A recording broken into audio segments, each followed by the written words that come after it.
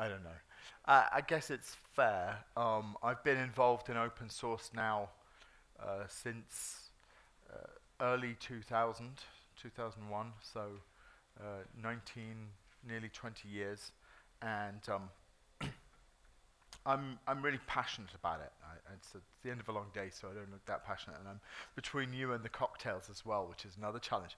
But I am genuinely passionate about it, and you know it's interesting. We've had number of our VCs, investors, other companies say to us, you know, why why don't you switch out of open source? You know, why are you still open source? And there was definitely a while. Oh, my slide's going to come up at some point. I hope so. Ah, thank you. it's, there, there, someone decided they should be closed and, uh, and out and completely non-transparent. So, uh, and, and we've, we believe that the open source is more than just a, a license model, it's more than just a code. It's absolutely central to the way we operate and to our value proposition to you. So that's, I'm not going to take long, but that's really the, the thesis of this talk, and, uh, and I'll be quite quick. So we've talked multiple times about disaggregation uh, throughout, the, throughout the day. And of course, what disaggregation is really talking about is having different organizations, whether it's different divisions in your, in your team, or whether it's different businesses, or whether it's different you know, parts of government, or whether it's consumers, whether it's app developers. And they typically are talking through APIs we're talking about integration, and of course, we've talked about identity. We've just heard about that. And this disaggregation requires all of these things to work well across boundaries. And how does that happen? You know, this is exactly what we've just been hearing about all day. It happens through open standards. And that's how we formed WSO2. That's why we started the company. We felt that open standards were creating a different way of building systems that was all about open networking, about building applications that are, that are distributed across the network. And fundamentally, you know, me and Sanjiva were at IBM, and we were involved in, for instance, adding the first SOAP support to WebSphere. And what that was was a layer on top of J2EE and EJBs. And EJBs was a layer on top of Corba, and Corba was a layer on top of Java Beans. And, and this layering seemed to be like every time you added something, you, you made the thing more complex and, and, and more heavyweight. And we felt that open standards were an opportunity to say we can cut out a lot of that legacy and build something smaller, lighter, cleaner that just worked. So open standards are absolutely vital to this. But it's not just open standards. We think that the transparency of openness creates a different environment for us to work. So how many of you have looked at the WSO2 source code? Anyone? Excellent. How many of you have looked at source code of other open source projects? Yes. How many of you actually loaded it into a debugger to help you figure out what's happening? There we go. Awesome. See, this is instantly changing the way you interact with a piece of software. You have a problem, you know, and, and obviously we're very proud of our support, and I hear it over and over again customers and, and partners telling us our support is great. But sometimes you don't want to phone up support, you just want to find what, what's happening here. You load up the source code into the debugger, you're away. Now, of course, with Java, you can decompile it, but that's kind of painful you lose a lot of the actual semantic data. You don't get all the comments.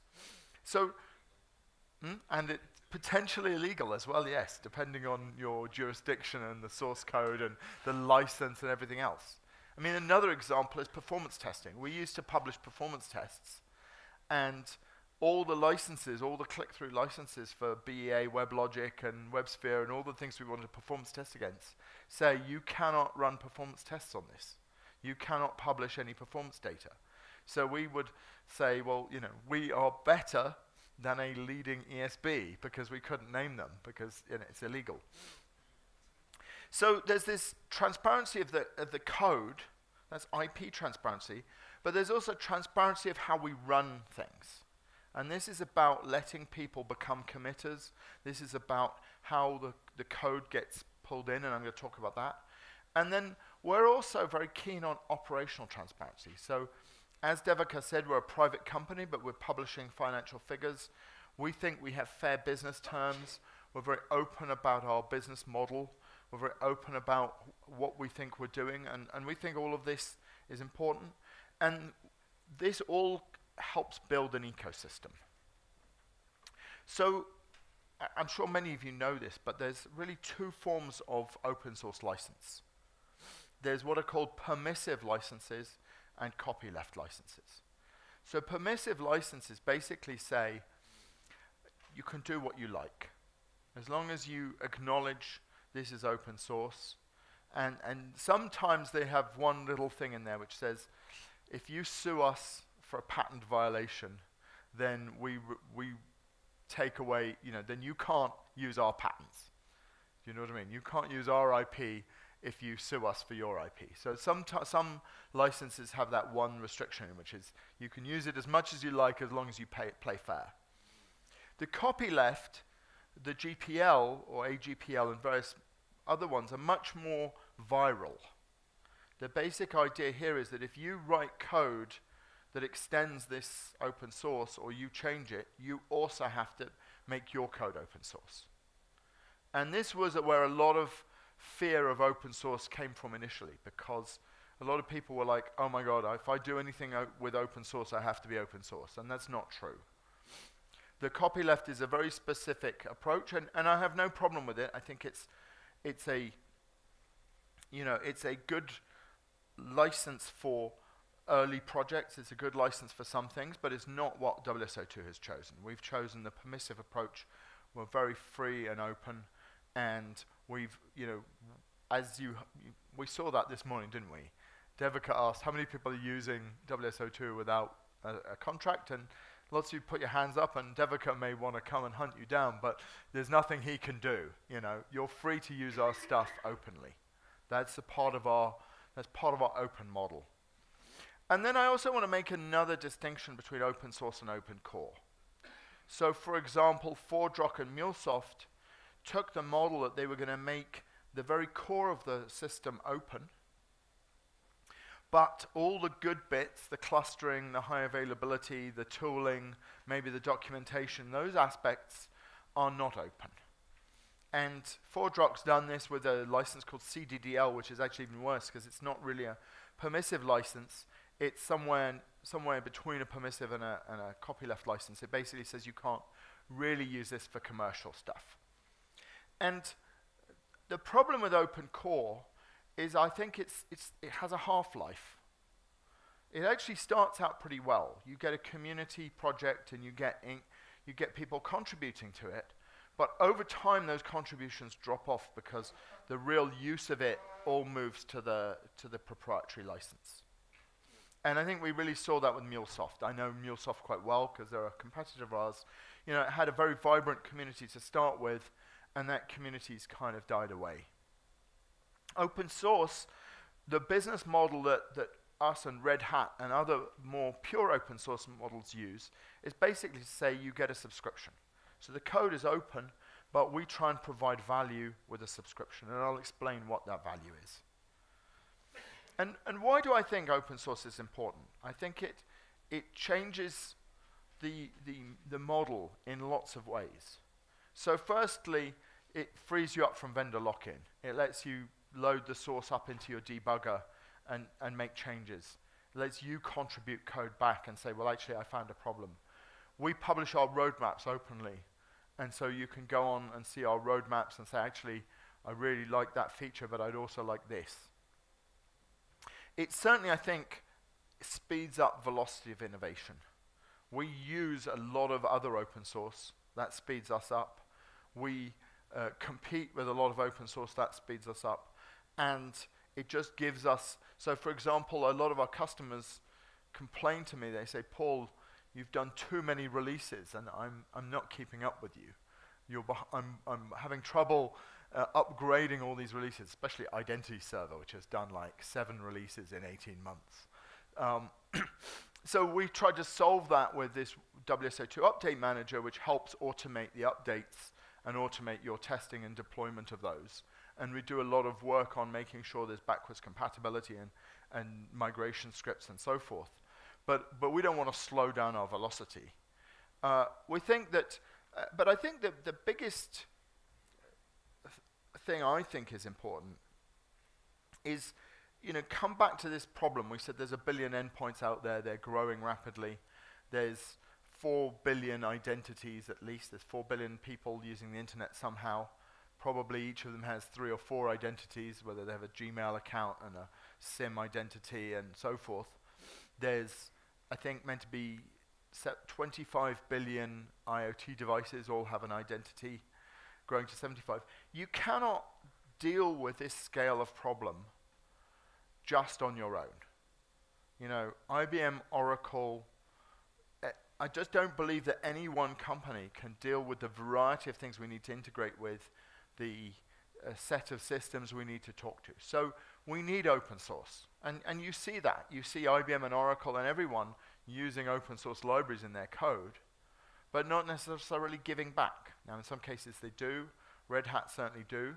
But you need it to give back as well as to, to take in order for this ecosystem to build what we need to solve the integration problems of the next century.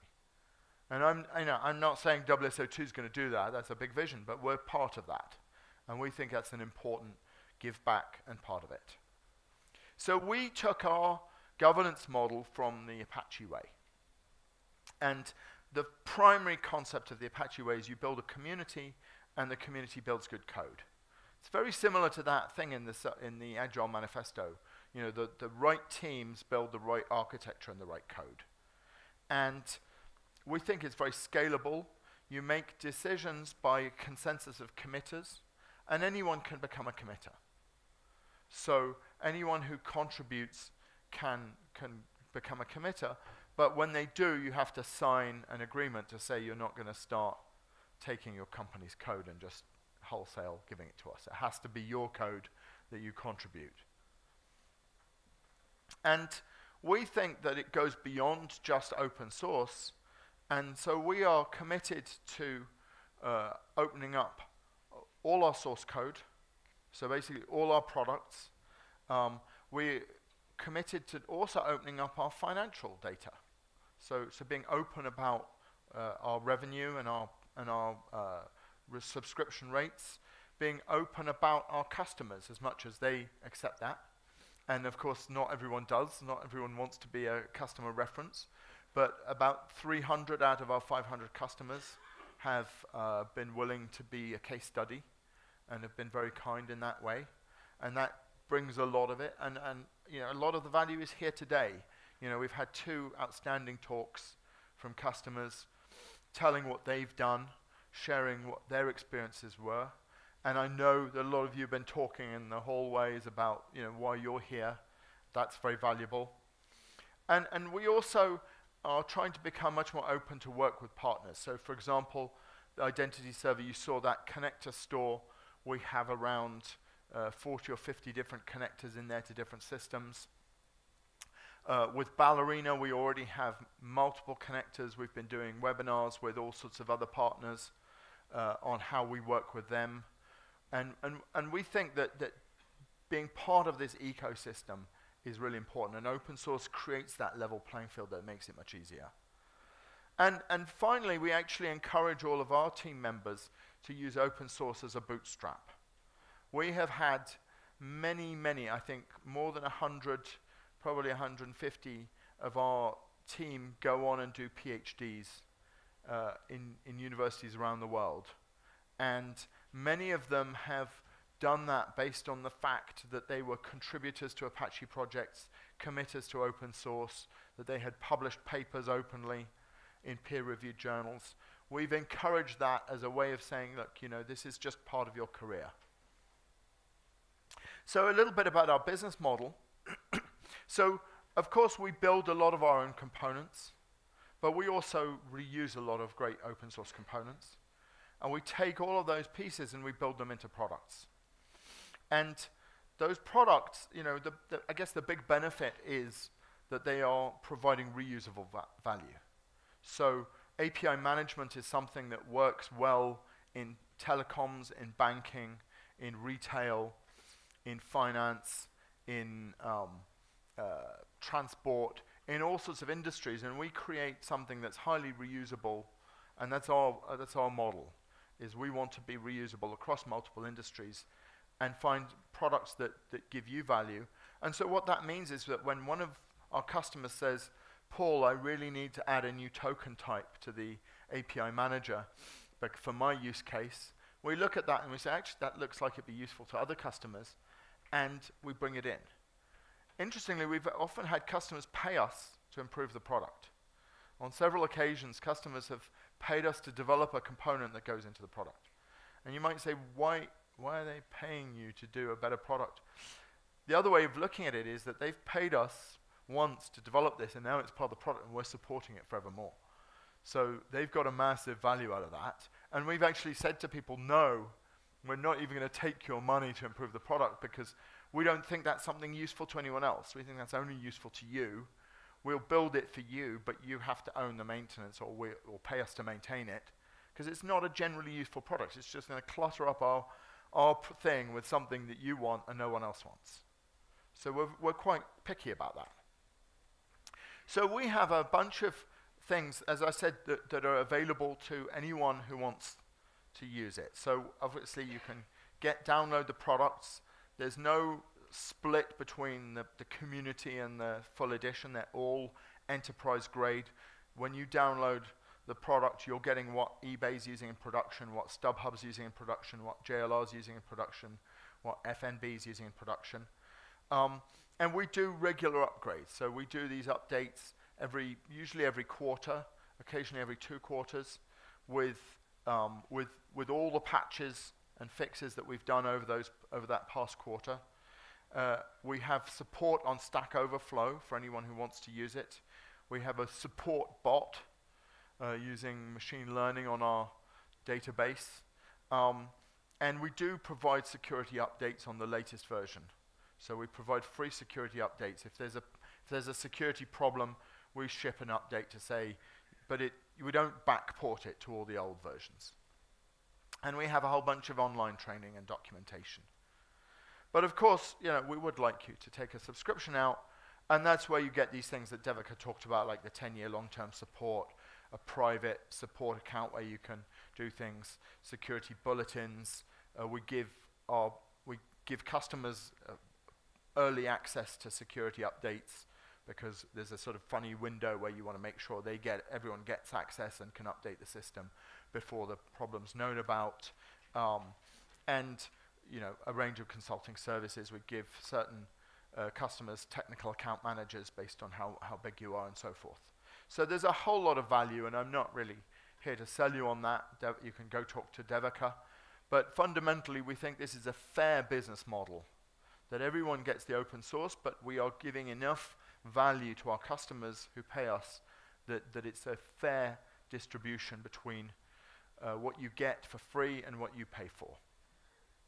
And that is a kind of another way of looking at it, that we're trying to give you access to our experts, reduce the risk, give you potentially some public and managed cloud capabilities on top of this so we can manage it for you, and really give you that, that assurance that we're going to be there for you and we're going to support this product for you for up to 10 years. And so that model is very simple. Our, all our products are under Apache license. All our documentation is under the um, Creative Commons or Apache license, depending if it's text or code. And if, you if you're a customer, then you get the updates and patches, and they are given under a commercial terms license. But as I say, those are the, everything we give to our customers, you can wait a quarter and we'll roll it up into the product update. We don't hold back fixes from non-paying customers. So we think that our value is more than just the software. We think that our value is our expertise. I talked earlier about the reference methodology and reference architecture. We think we have a lot of value in, in our wider thinking about these problems. And again, we've done those under the Creative Commons license uh, to encourage uh, people to involve. we think we have economies of scale, that we can do uh, a better job of building an API manager than, than, our, than other people can, and, and you can therefore get that for much less than the cost it would take you to build it. Uh, I teach a course at, at Oxford, and one of my students works for a large oil company. And I, one of the sessions was, a, it's about service-oriented architecture, and I did a session on identity and showed them the identity server, and he was like, all this is free? We're building all this. And I've said, well, you're building all that. Why are you building it? Because we didn't think we could get it ourselves. So we're built, they literally built their own OIDC, their own adaptive authentication, all that stuff you just heard Vidura talk about, they built for themselves as a one-off. And it's just not a sustainable model. Even if you're a large oil company, and you have massive profits, it's just not a sustainable model. And of course, we reuse a lot of open source too. So we get a lot of efficiency from that as well as being part of a community. So we think it's a, a, a fair exchange of value is our, is our view. And, and I guess that's our, our mantra. We want to be something that customers want to work with. We want you to see us as a fair value.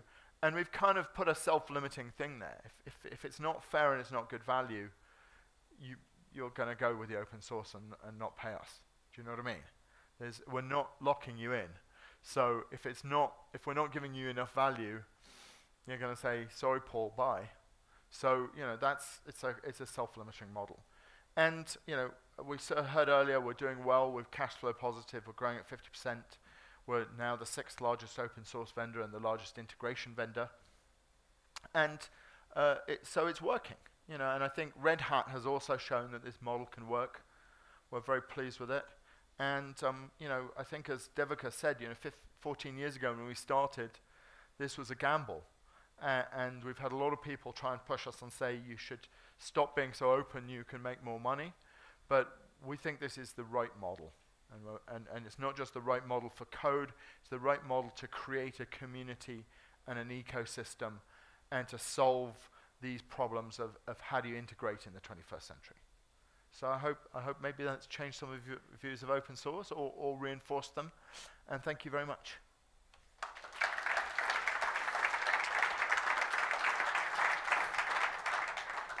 Do you have any questions? Um, just a quick question. When you started 14 years ago and decided to go open source, what are the key instruments you had to put in place to make sure you build, you know, momentum going forward. So there must have been a couple of key things that you had, perhaps structures or. so that's really interesting. We inherited a lot of ideas from Apache, and one of the ideas we inherited from Apache is that the, the developers are also doing support, are also talking to customers, are also uh, fixing bugs. So we instituted this thing we call a rotation model.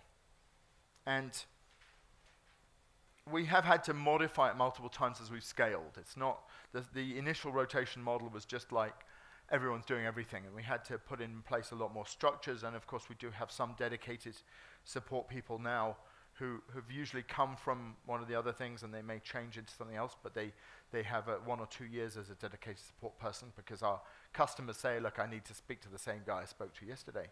But that's, that rotation model has created a, much stronger technical team than I've ever had, you know, when I was at IBM or other companies before, because they really understand the problems. And this is one of the things of open source is that you have a mailing list, you directly interact with your users, you begin to, to build up this rapport, and, and especially in middleware. You know, if you're building mobile phone apps, you might be a user of those.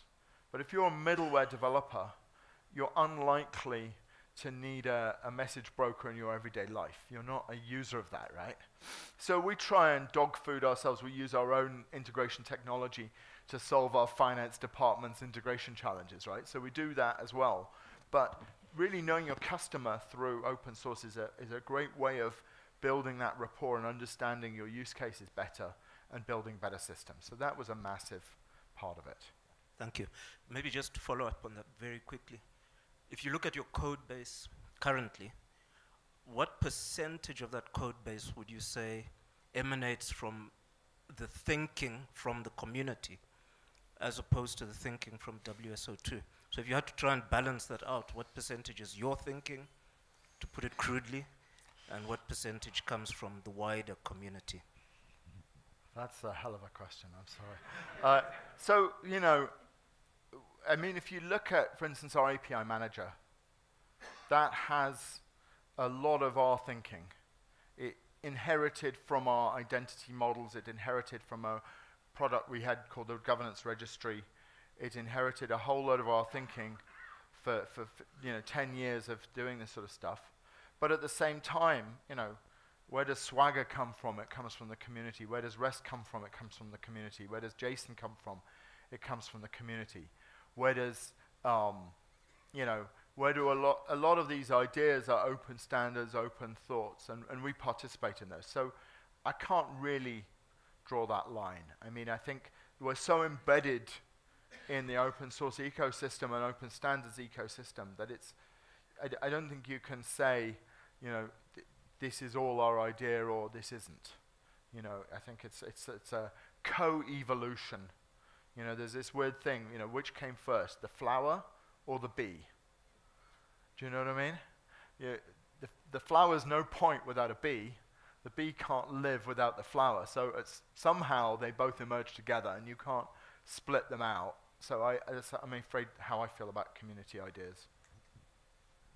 Okay, so the shrimp is getting bigger, and the whales whales are circling.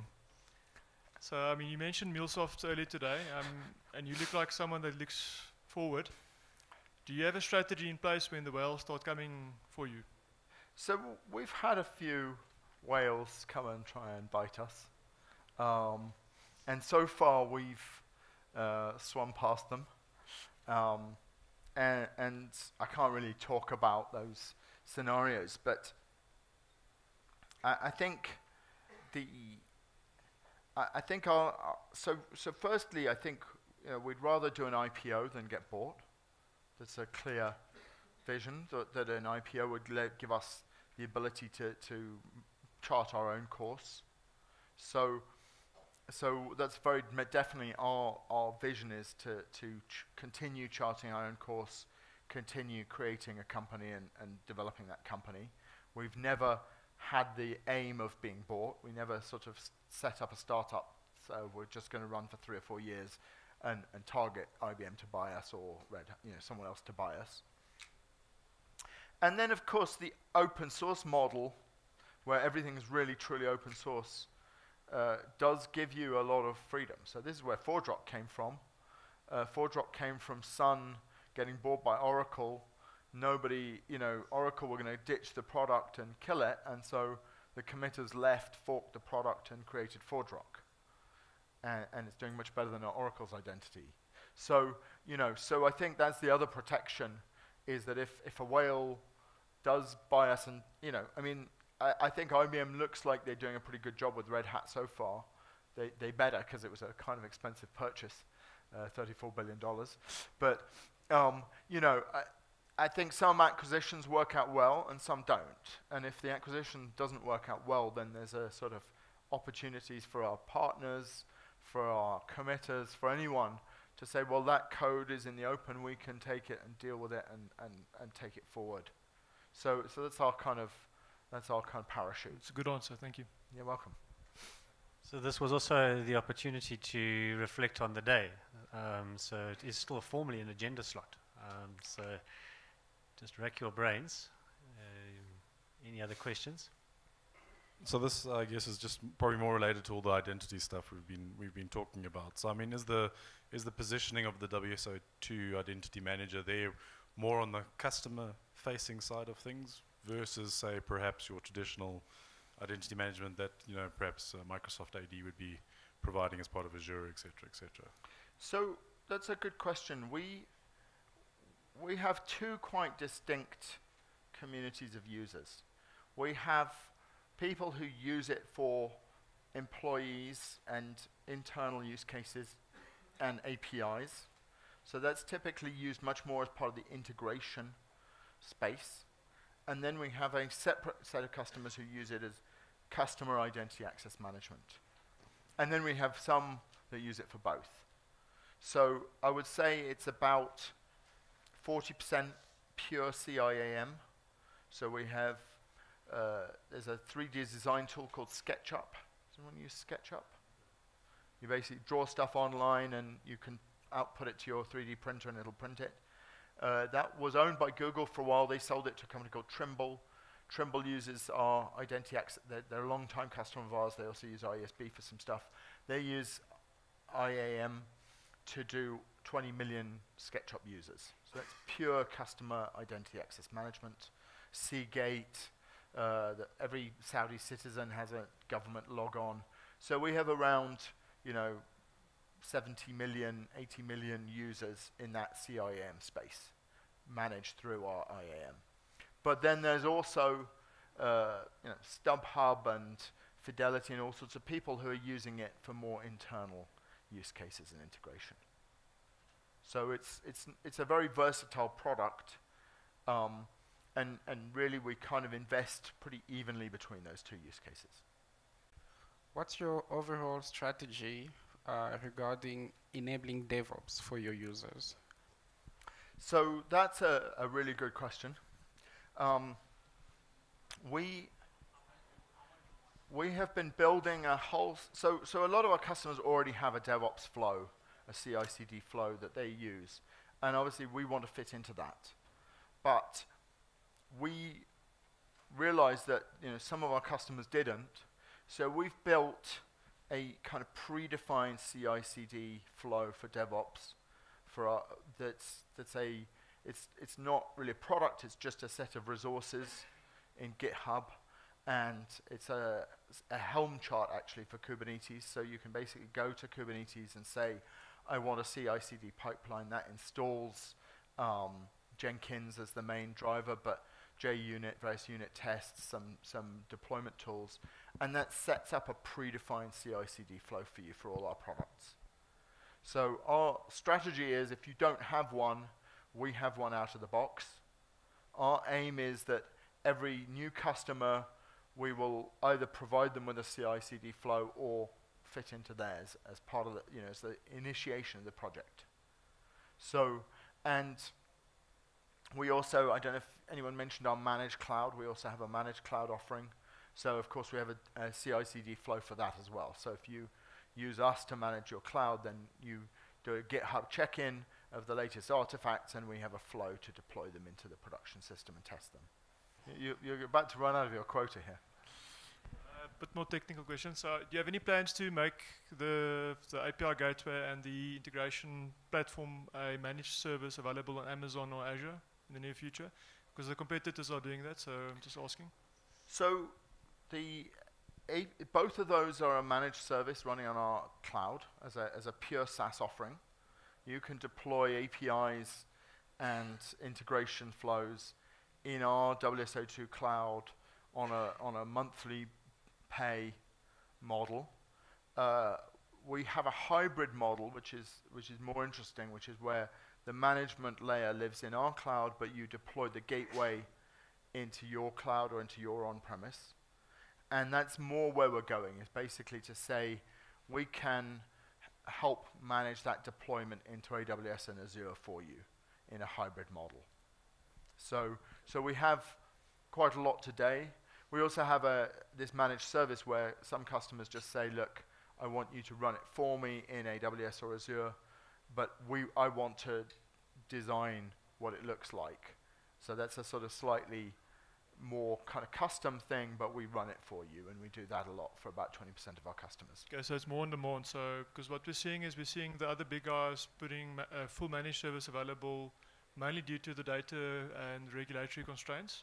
So you could be able, you would be able to consume your platforms as a service then within, uh, let's say Europe as an, ex- as an example. Yes. Absolutely. But you, what you're saying is not, not as a de facto standard. You've got a control plane that, as it says, with deployment elsewhere. And on a demand basis, you can actually make it available, for example, in Amazon or Azure as a managed service. Yes. Okay. Exactly. Great question, by the way. Thank you. API lifecycle management. So, for example, if you have a um, dev environment, a QA, and a production, is there an automated way of moving an asset on, on the API manager? across the different environments automatically. Yes. So basically, we have a, a command line tool that can say, I want to export this config and import it. So we build that as part of that CI/CD pipeline and flow. Basically, say I'm going to deploy staging environment, and then I'm going to just take that whatever's in the staging environment and import it into the production environment. And then the endpoints get changed automatically across the Yeah. environment. Fedora, do you want to add anything to that? No, he says I've got it right. So I don't know why I'm the only one standing up here. I guess that's the problem of being the founder. But I thought this Q and A was meant to be for all the speakers, but I seem to be the mug here. The opportunity to, to ask further questions and to engage is not fully lost because now is the time for those that have stuck it out for the day. Round number four is over. Well done. Um, the cocktails are served downstairs uh, outside the reception, but uh, uh, before I get to that, uh, thank you, Paul, so much uh, for your contribution today, and uh, to the WSO2 team for, for traveling out. Uh, I think we've done you proud uh, in South Africa. Uh, Devika mentioned earlier that this has been the best turnout of their summit, summits uh, so far. So to you guys, thank you very much and, uh, and well done. Uh, Devika did whisper in my ear a moment ago that uh, uh, 54 different companies were represented uh, today. And, and, and that I think is, uh, is testament to the traction that WSO2 has achieved in the market already and clearly the interest uh, in the product uh, moving forward. Today wasn't just about WSO2, I think we got a bit broader than that. But uh, certainly um, uh, uh, exciting. And I know that uh, I was reflecting, Stephen Covey said that the purpose of our lives should be to live, to love, to learn, and to leave a legacy. Um, fortunately, that wasn't our goal for today. That would have been a bit of a stretch. Um, but you will recall. but we did set a goal of uh, to learn and uh, to network and uh, and then to enjoy ourselves. So uh, I hope that that goal has been achieved. If so, then uh, uh, my work here today is done. Um, please join us, and when you do leave this evening, travel home safely wherever that might be. Thank you.